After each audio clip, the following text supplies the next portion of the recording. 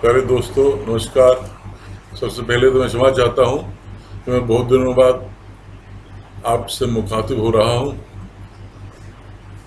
कुछ व्यवस्थाएँ हो गई थी, इसलिए मैं आपसे ज़्यादा बातचीत नहीं कर पाया।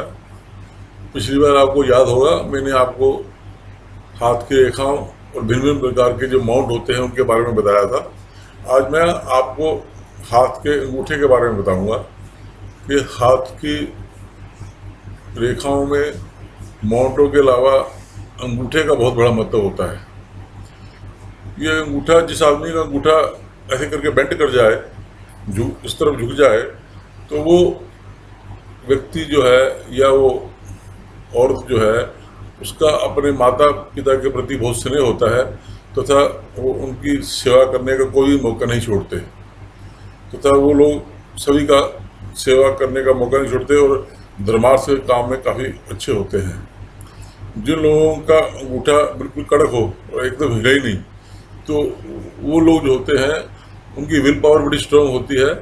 वो बहुत बड़े पॉलिटिशियन बन सकते हैं, बहुत बड़े अधिकारी बन सकते हैं। तो एक बार वो जो निर्णय ले लेते हैं, फिर वो निर्णय बदलते नहीं। ये अंगूठा अगर एकदम ऐसा होगा तो वो फिर बहुत हट्टी किस्म के होते हैं। अगर वो निर्णय ठीक हो तो भी वो उसमें स्टैंड करते हैं, अगर गलत हो तो भी स्टैंड करते हैं। चाहे उसमें उनको नुकसान या फ़ायदा हो, उसका वो, उनको कोई अंदाज़ा नहीं रहता। इसी प्रकार से ये जो अंगूठे की लाइनें हैं ना ये, इससे व्यक्ति के पता लगता है कि भाई बहन कितने हैं। कितने भाई बहन हैं, इस इन लाइनों से पता लग जाता है कितने भाई बहन हैं। और जिन व्यक्तियों के अंगूठे के नखून बहुत लाल होते हैं, उनको गुस्सा बहुत जल्दी आ जाता है। और जिन व्यक्तियों के नखून बहुत वाइट होते हैं, उनमें होमोग्लोबिन की कमी रहती है। और ब्लड की कमी होने के कारण आयरन की कमी हो जाती है, थोड़ी पेट की तकलीफ़ भी रहती है। और आपको एक बहुत महत्वपूर्ण बात बताने में जा रहा हूँ, जिन लोगों का अंगूठे का ये साइज़ जो होता है, जैसे हमारा आम अंगूठा है, अगर बहुत छोटा हो, इतना इतना सा अंगूठा हो, बहुत छोटा सा अंगूठा हो, इसे आधा हो तो ऐसे आदमी को जेल जाने का योग बन सकता है और उनके हाथों से अचानक किसी का मर्डर भी हो सकता है, या किसी हथियार को वो हाथ लगा ले तो गोली चल जाए सामने वाला। कोई मर जाए कि शादी ब्याह में गोली चल जाए या कोई अचानक घर में पिस्टल पड़ी हो उसको साफ़ करते रहते गोली चल जाए। जिनका अंगूठा छोटा होता है उन, उनके हाथ से कोई ना कोई दुर्घटना होने की संभावना रहती है। इसलिए छोटे अंगूठे वाले व्यक्तियों को अपने पास कोई भी बंदूक पिस्टल या ऐसा हथियार नहीं रखना चाहिए जो गलती से चल जाए तो उनका नुकसान हो। इस तरह अंगूठे में जो ये लाइनें होती हैं अगर ये साइज़ बड़ा होगा तो अंगूठे वाला इस, इसका जो ये ये पोर्शन अगर किसी अंगूठे वाले का बड़ा होगा, उसका दिल बड़ा बड़ा होता है, उसको दान पुण्य करने में मज़ा आता है और धर्मशालाओं में, मंदिरों में बहुत दान करता है। जिसका छोटा होता है, वो बहुत सोच समझ के खर्चा करता है, आलतू फालतू के खर्चे नहीं करता। इस प्रकार से जिन आदमी का गुटा ऐसे हिलता रहे, ऐसे करके ऐसे करके हिलता रहे तो उनका क्या होता है नेचर फिकल माइंडेडनेस होती है शेकीनेस होती है। वो कोई भी निर्णय नहीं ले पाते डबल माइंडेड हो जाते हैं और निर्णय समय बहुत ज़्यादा घबरा जाते हैं। ये जिनका ऐसे अंगूठा हिलता हिलेगा तो वो कोई भी निर्णय नहीं ले पाते। इस प्रकार अंगूठे का हाथ की रेखाओं के साथ बहुत बड़ा कम्बिनेशन है। इसलिए मैं आपको ये आज बताना चाह रहा था। दूसरा, मैं आपको आज एक नया चैप्टर बताने जा रहा हूँ। सपनों के बारे में बताने जा रहा हूँ। हर एक आदमी जब सोता है तो नाइन्टी परसेंट लोगों को कोई ना कोई सपना आता है। अगर आपको सपने में सूर्य दिखाई देता है तो वो आपके लिए बड़ा शुभ शुभ है।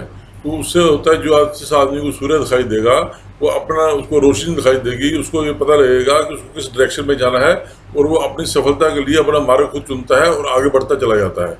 ये बड़ा शुभ संकेत है अगर आपको सूर्य दिखाई दे। अगर सपने में वो चंद्रमा दिखाई दे तो उसमें आपको ऐसा लगता है कि कोई ना कोई यात्रा होने वाली है। ज़्यादातर व्यक्तियों को संपूर्ण चंद्रमा, पूनम का चंद्रमा दिखाई दे, उनको विदेश यात्रा का योग बनता है, या फिर जो आईटी इंजीनियरिंग वाला लड़के बड़े होते हैं उनको विदेश विदेश में नौकरी मिलने का भी चांसेस रहते हैं। अगर आपको सपने में अग्नि दिखाई दे, अग्नि दिखाई दे तो उसका मतलब ये है कि आने वाले कुछ दिनों में या महीनों में आपके हवन पूजा करवाने वाले हो या घर में कोई कथा कराने वाले हो या आप नए घर में प्रवेश करके वहाँ पूजा करवाओगे तो अग्नि दिखाई देने से आदमी को ऐसा लगेगा कि आप नया शुभ काम कोई करने जा रहे हो, कोई पूजा अर्चना का काम करने जा रहे हो।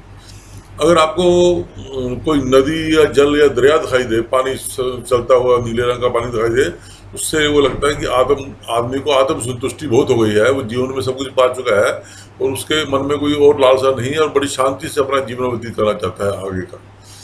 अगर आदमी सपने में कोई पहाड़ी चढ़ रहा है, कोई ऐसा करके कोई पहाड़ है, उसको चढ़ाई चढ़ रहा है, सीधा ऐसे करके पहाड़ों पर धीरे धीरे चढ़ते हैं ना अगर पहाड़ों पर पढ़ाई, चढ़ाई चढ़ रहा है तो वो आदमी जो है, इसका मतलब अगर नौकरी में है तो कोई प्रमोशन मिलने वाली है, अगर बिज़नेस में है तो कोई और साइड बिज़नेस चालू करने वाला है तो चढ़ाई चढ़ने का अगर कोई सपना आता है पहाड़ों पे तो बड़ा शुभ है।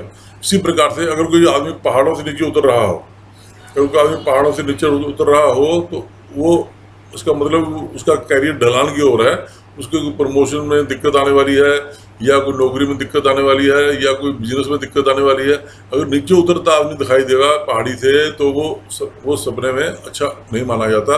इस प्रकार से अगर आपको सपने में आपके पिताजी दिखाई देते हैं तो इसका मतलब कि आप बहुत बड़ा कोई उत्तर देते हो फैमिली में निभाने वाले हो। घर में बहुत बड़ी ज़िम्मेदारी आपके सर पर आने वाली है।